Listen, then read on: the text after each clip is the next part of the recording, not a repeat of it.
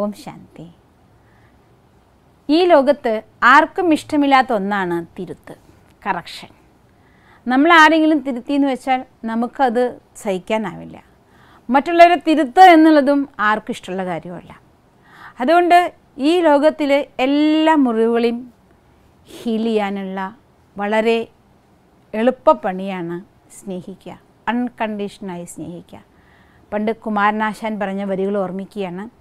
സ്നേഹിക്കയുണ്ണി നീ നിന്നെ ദ്രോഹിക്കുന്ന ജനത്തെയും. അതായത് ആരാണോ നമ്മളെ ദ്രോഹിക്കുന്നത് അവരെയും കൂടി നമുക്ക് സ്നേഹിക്കാൻ കഴിയണം. നമ്മൾ സ്നേഹിക്കുകയാണ് എങ്കിൽ നമ്മുടെ സ്നേഹം കൊണ്ട് എല്ലാവരും ഹീൽ ചെയ്യപ്പെടും. സ്നേഹം വലിയൊരു അമൃതാണ്. ഈ സ്നേഹം അതില്ലാതെ ആർക്കും ജീവിക്കാൻ പറ്റില്ല. മനുഷ്യന്മാരെ സംബന്ധിച്ചിടത്തോളം സ്നേഹം എന്നുള്ളത് അവന് വെള്ളം ദാഹിക്കും പോലെ ദാഹിക്കുന്ന ഒന്നാണ്. സ്നേഹത്തിന്റെ ഭാവത്തിലൂടെ നമ്മളെ പറ്റിക്കാൻ പോലും സാധിക്കും. സ്നേഹം അത്രയ്ക്ക് നമുക്ക് ആവശ്യമായ ഒന്നാണ്. അതില്ലാതെ ജീവിക്കാൻ സാധ്യവുമല്ല. പക്ഷേ വല്ലാത്തൊരു വിരോധാഭാസം എന്താണെന്ന് വെച്ചാൽ ഈ സ്നേഹിക്കുന്നവർ എപ്പോഴാണോ സ്വന്തമായി തീരുന്നത് അതോടെ ഭാവമൊക്കെ മാറും. നമുക്ക് ആരോടാണോ സ്നേഹം? അവരെക്കുറിച്ച് നമ്മൾ പറയുക നീ ഇതേ ചെയ്യാവൂ നീ ഇങ്ങനെ എടുക്കാവൂ നീ ഇങ്ങനെ നടക്കാവൂ. കണ്ടീഷൻസ് നമ്മൾ അപ്ലൈ ചെയ്യാൻ തുടങ്ങും. അതുവരെ സ്വാതന്ത്ര്യം കൊടുക്കും. പക്ഷെ സ്വന്തമായി എന്ന് കാണുമ്പോൾ നമ്മുടെ ഭാവങ്ങളെല്ലാം പലതും അവരെ ബന്ധനത്തിലാക്കുന്നതാക്കും. അല്ലെങ്കിൽ അവരെ അസ്വസ്ഥാക്കുന്നതാക്കും സ്നേഹം ഒരിക്കലും അങ്ങനത്തെ ഒരു ഫീലിംഗ് അല്ല.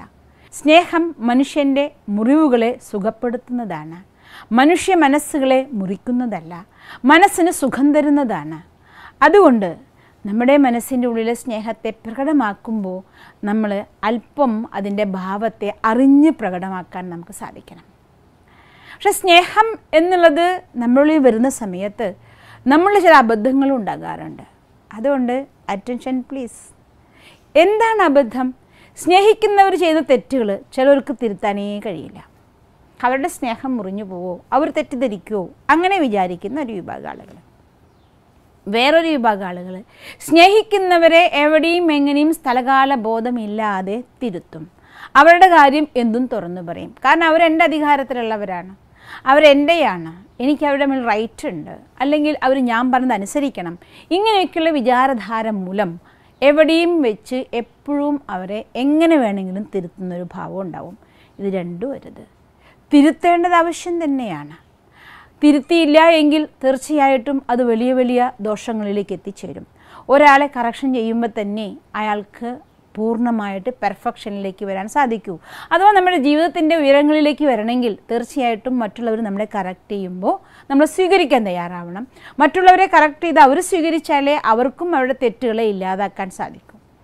പക്ഷേ ഈ കറക്റ്റ് ചെയ്യാൻ പോണ സമയം അത് വിധിപ്രകാരമല്ല പോകുന്നത് എങ്കിൽ അത് ഗുണത്തേക്കാളേറെ ദോഷം ചെയ്യും. ഇത് പറയുമ്പോൾ ഒരു അമ്മയ്ക്കുണ്ടായ അനുഭവം പറയുകയാണ്. അമ്മയ്ക്ക് ചെറിയൊരു കുഞ്ഞാണ് മൂന്ന് വയസ്സായ കുട്ടി കുട്ടിക്ക് ഭയങ്കര ചെവിവേദന. കുട്ടീനെയും കൊണ്ട് അമ്മ ഡോക്ടറെ അടുത്തെത്തി ഡോക്ടർ അമ്മയോട് ചോദിച്ചു ചെവിയുടെ കൈ ചെവിയൊക്കെ പരിശോധിച്ചു ഓക്കെ ഡോക്ടർ ഒരു മരുന്ന് എഴുതി കൊടുത്തു. മരുന്നുമ്മ എഴുതി മൂന്ന് നേരം മൂന്ന് തുള്ളി വീതം. അമ്മ മരുന്ന് വാങ്ങി വീട്ടിലെത്തി. പക്ഷേ ഇരുപത്തിനാല് മണിക്കൂർ കഴിയുമ്പോഴേക്കും കുട്ടി സീരിയസ് ആയിക്കൊണ്ട് അമ്മ കുട്ടീനെയും കൊണ്ട് വീണ്ടും ഹോസ്പിറ്റലിൽ എത്തിയിരിക്കുകയാണ്. ഹോസ്പിറ്റലിൽ കുട്ടി ഐ സിയുലായി എല്ലാവരും ഏത് ഡോക്ടറാണ് ചികിത്സിച്ച് അന്വേഷിച്ചു. ഡോക്ടർ തന്നെ തിരിച്ചെത്തി ഹോസ്പി കുട്ടിയുടെ അടുത്തേക്ക്. അമ്മോട് ഡോക്ടർ ചോദിക്കുകയാണ് നിങ്ങൾ എങ്ങനെയാണ് കുട്ടിക്ക് മരുന്ന് കൊടുത്തത്? ഞാൻ കൃത്യമായിട്ട് മൂന്ന് തുള്ളി വീതം കറക്റ്റായിട്ട് ചെവിയിൽ ഒഴിച്ചിട്ടുണ്ട് ഡോക്ടർ എന്ന് ഡോക്ടർ പറയുകയാണ് ഞാൻ മൂന്ന് തുള്ളി വീതം മൂന്ന് നേരം കഴിക്കാൻ കൊടുക്കാൻ ആ കുട്ടിക്ക് മരുന്ന് തന്നേ. പക്ഷെ നിങ്ങളത് ചെവിയിലൊഴിച്ചോ വെറുതെയാണോ ഈ അവസ്ഥ എത്തിയിരിക്കുന്നത്? ഇതുപോലെയാണ് നമ്മുടെ ജീവിതത്തിലും പലപ്പോഴും. നമ്മൾ തിരുത്താനും നന്മയ്ക്കും ആഗ്രഹിച്ചുകൊണ്ടാണ് പറയുക പക്ഷേ അതിന്റെ നേരെ വിപരീത ഫലം പലപ്പോഴും സംബന്ധങ്ങൾ തകർന്നു പോകും അല്ലെങ്കിൽ അകന്നു പോകും സ്നേഹമില്ലാതെ ആവും ഇങ്ങനെയൊക്കെ പല കാര്യങ്ങളും സംഭവിക്കാറുണ്ട്.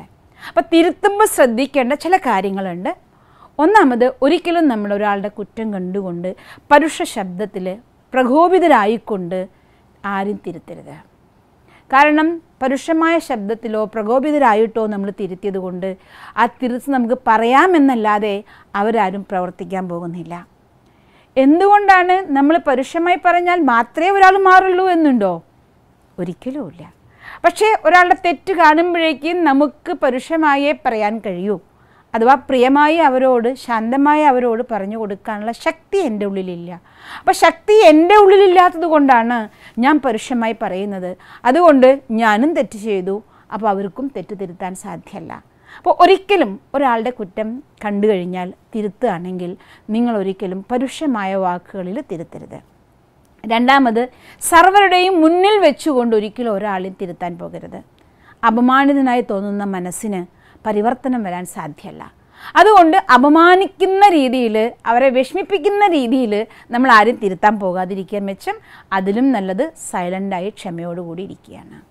സ്നേഹത്തോടെ ഏകാന്തതയിൽ അവർ മനസ്സിലാകുന്ന രീതിയിൽ നിങ്ങൾ പറഞ്ഞു കൊടുക്കുകയാണെങ്കിൽ ഏതൊരാളും മാറാൻ തയ്യാറാണ്. കാരണം എല്ലാവർക്കും ഇഷ്ടം എല്ലാവരാലും മാനിക്കപ്പെടുന്ന എല്ലാവരും സ്നേഹിക്കുന്ന ഒരു വ്യക്തിയാവാനാണ്. അതുകൊണ്ട് നമ്മൾ പറഞ്ഞു കൊടുക്കുമ്പോൾ വിധിപ്രകാരമാണ് പറഞ്ഞു കൊടുക്കുന്നതെങ്കിൽ അവർ സ്വീകരിച്ചിരിക്കും. മൂന്നാമത് നമ്മുടെ ഉള്ളിൽ അവരുടെ കുറ്റങ്ങളെക്കുറിച്ച് ഒരിക്കലും ചിന്തിക്കരുത്. അത് ഏറ്റവും പ്രധാനപ്പെട്ട കാര്യമാണ്. ഒരാളുടെ തെറ്റിനെക്കുറിച്ച് നമ്മൾ ചിന്തിച്ചുകൊണ്ടിരിക്കുകയാണ്. അവൻ അങ്ങനെയാണെങ്കിൽ അവൾ ഇങ്ങനെയാണ് ഇതാണ് എന്നൊക്കെ ചിന്തിച്ചുകൊണ്ടിരുന്നാൽ അവരുടെ ആ തെറ്റിനെ അവരിൽ ഊട്ടി ഉറപ്പിക്കുന്നതിനുള്ള വരം കൊടുക്കുന്നത് പോലെയാണ്. അതുകൊണ്ട് ഒരാളുടെ തെറ്റിനെക്കുറിച്ച് നമ്മൾ പത്താളോട് പറയരുത് നമ്മളത് വീണ്ടും വീണ്ടും ചിന്തിക്കരുത് പിന്നെ എങ്ങനെ തിരുത്തുക? അവിടെയാണ് നമ്മൾ നമ്മുടെ ശക്തി ഉപയോഗിക്കണം. അവർക്ക് ഏതാണോ ഗുണം കൊണ്ടുവരാൻ നമ്മൾ ആഗ്രഹിക്കുന്നത് ആ ഗുണത്തെക്കുറിച്ച് നമ്മൾ ചിന്തിക്കണം. ഉദാഹരണത്തിന് ഭയങ്കര മുൻകോപിയായ ഒരാളെ കോപത്തിലൂടെ എന്തെങ്കിലുമൊക്കെ അട്ടഹസിച്ച് പറയുന്നൊരു സ്വഭാവമാണ്. അവരെയാണ് നമുക്ക് തിരുത്തേണ്ടത്. അപ്പോൾ നമ്മൾ ചിന്തിക്കണം ഇവർ വളരെ ശാന്തസ്വരൂപനാണ്. ഇവൻ ശാന്തിയായി എല്ലാവരോടും പെരുമാറും. ഭയങ്കര ക്ഷമാശീലനാണ്. ഇങ്ങനെ അവരിൽ കൊണ്ടുവരേണ്ട ഗുണം എന്താണോ അതിനെക്കുറിച്ച് നമ്മൾ വീണ്ടും വീണ്ടും ചിന്തിക്കുമ്പോൾ അറിയാതെ അവരുടെ ഉള്ളിൽ ആ ഗുണങ്ങളുടെ സങ്കല്പങ്ങൾ വരെയും അവരുടെ കർമ്മത്തിൽ ആ പരിവർത്തനം ഉണ്ടാവുകയും ചെയ്യും. മറിച്ച് അവരുടെ തെറ്റ് കാണുമ്പോൾ എനിക്ക് തെറ്റ് സഹിക്കാനാവില്ല എന്ന് നമ്മൾ നമ്മുടെ മനസ്സിൽ വിചാരിക്കുമ്പോൾ തീർച്ചയായിട്ടും തെറ്റ് സഹിക്കാനാവില്ല എന്ന് ഞാൻ പറയുമ്പോൾ എന്റെ മനസ്സ് ഞാൻ ഓർഡർ കൊടുക്കുകയാണ്. തെറ്റ് കണ്ടാൽ നീ പൊട്ടിത്തെറിക്കുക അതുകൊണ്ടാണ് ഇന്ന് പലപ്പോഴും കുടുംബങ്ങളിൽ കുടുംബം എന്ന വാക്കിന്റെ അർത്ഥത്തിന് വിപരീതമായ കാര്യങ്ങൾ സംഭവിക്കുന്നത്. കുടുംബം എന്ന് വെച്ചാൽ എന്താണ് അർത്ഥം? കൂടുമ്പോൾ ഇമ്പമുള്ളതാണ് കുടുംബം. പക്ഷേ ഇന്ന് നടക്കുന്നതൊക്കെ എന്താ? കൂടുമ്പോൾ ഭൂകമ്പമാണ് ഭൂകമ്പം ഉണ്ടാവാൻ കാരണം എന്താണ്? നമ്മുടെ ഉള്ളിൽ നമ്മളെ ഏറ്റവും പ്രിയപ്പെട്ടവരെ കുറിച്ച് അവരുടെ തിരുത്താനുള്ള ആകാംക്ഷയോടുകൂടി അല്ലെങ്കിൽ അതിനോടുള്ള ലഹരിയോടുകൂടി വീണ്ടും വീണ്ടും അവനിങ്ങനെയാണ് ഇത് തിരുത്തണം അവൻ അങ്ങനെയാണ് ഇതിങ്ങനെ ചിന്തിച്ചുകൊണ്ടിരിക്കും. അപ്പോൾ അവരൊന്ന് ചെറിയൊരു കാര്യം ഉണ്ടാകുമ്പോഴേക്കും നമ്മളുടെ റിഫ്ലക്ഷൻ പൊട്ടിത്തെറിക്കുന്നതാവും. അതുകൊണ്ട് അവിടെ ഇമ്പല്ല ഭൂകമ്പം ഉണ്ടാകും അത് കാരണം തന്നെ ജീവിതത്തിൽ ഒരിക്കലും നമ്മൾ ഒരാളോടും നമ്മൾ ഉത്തേജിതരായിക്കൊണ്ട് നമ്മൾ വളരെയധികം ആങ്സൈറ്റി ആയിട്ട് അല്ലെങ്കിൽ എക്സൈറ്റഡ് ആയിട്ട് ഒന്നും ആരോടും പറയരുത്. ആ സമയത്ത് മൗനം പാലിക്കുക. കാരണം എക്സൈറ്റഡ് ആകുന്നത് അവരുടെ കുറ്റമല്ല അവർ ചെയ്ത കർമ്മമല്ല ആ കർമ്മത്തെ കാണുമ്പോൾ എന്റെ ഉള്ളിലുണ്ടാകുന്ന സങ്കല്പത്തിലുണ്ടാകുന്ന വീക്ക്നെസ്സാണ് നമ്മുടെ ദുർബലതയാണത്. അതുകൊണ്ട് നമ്മുടെ ചിന്താധാരയിൽ മാറ്റം വരുത്തുക. ആരിലൊക്കെ എന്തൊക്കെ നിങ്ങൾക്ക് തിരുത്തുകൊണ്ടാണ് ആഗ്രഹമുണ്ടോ അവരുടെയൊക്കെ ഗുണങ്ങളെക്കുറിച്ച് നമ്മൾ ചിന്തിക്കുക. നമ്മളിൽ ഒരു തിരുത്ത് കൊണ്ടുവരാൻ നമുക്ക് ആഗ്രഹമുണ്ടോ? ഗുണങ്ങളെക്കുറിച്ച് നമ്മുടെ അവഗുണത്തിന്റെ ഓപ്പോസിറ്റായ ഗുണത്തെക്കുറിച്ച് നിങ്ങൾ ചിന്തിക്കുക. തീർച്ചയായിട്ടും ആ ഗുണം നിങ്ങളുടെ ഉള്ളിൽ വരും. ഇങ്ങനെ നിങ്ങളിലും നിങ്ങളുടെ കൂടെ വരുന്ന എല്ലാ കുടുംബാംഗങ്ങളിലും ഫ്രണ്ട്സിലും എല്ലാവരിലും നന്മ മാത്രം കണ്ടുകൊണ്ട് കൂടുമ്പോൾ ഇമ്പമുള്ള ഒരു കുടുംബമായി ജീവിക്കാൻ സാധിക്കുന്ന ഭാഗ്യശാലികളായി നിങ്ങൾ ഓരോരുത്തരും മാറട്ടെ. ഓം ശാന്തി. നിങ്ങൾക്ക് ഈ വീഡിയോ ഇഷ്ടപ്പെട്ടുവെങ്കിൽ ഈ ചാനൽ സബ്സ്ക്രൈബ് ചെയ്യും. ഈ വീഡിയോയ്ക്ക് താഴെ കാണുന്ന ലൈക്ക് ബട്ടണും ചുവപ്പ് നിറത്തിലുള്ള സബ്സ്ക്രൈബ് ബട്ടണും അമർത്തും. ഒപ്പം തൊട്ടടുത്ത് പ്രത്യക്ഷപ്പെടുന്ന ബെൽ ഐക്കൺ കൂടി ക്ലിക്ക് ചെയ്താൽ നിങ്ങളുടെ വിലയേറിയ അഭിപ്രായങ്ങളും ആശീർവാദങ്ങളും കമന്റ് ബോക്സിലൂടെ അറിയിച്ചാൽ അത് ഞങ്ങളുടെ പ്രേരണാ സ്രോതസ്സാണ് ഞങ്ങളുടെ ഫേസ്ബുക്ക് ട്വിറ്റർ ഇൻസ്റ്റാഗ്രാം കൂടി ഫോളോ ചെയ്ത് പ്രോത്സാഹനങ്ങൾ തന്നാൽ ഞങ്ങളെ സ്നേഹിക്കുന്നവർക്കും ഈ ചാനൽ സബ്സ്ക്രൈബ് ചെയ്ത് സപ്പോർട്ട് ചെയ്തവർക്കും അകമഴിഞ്ഞ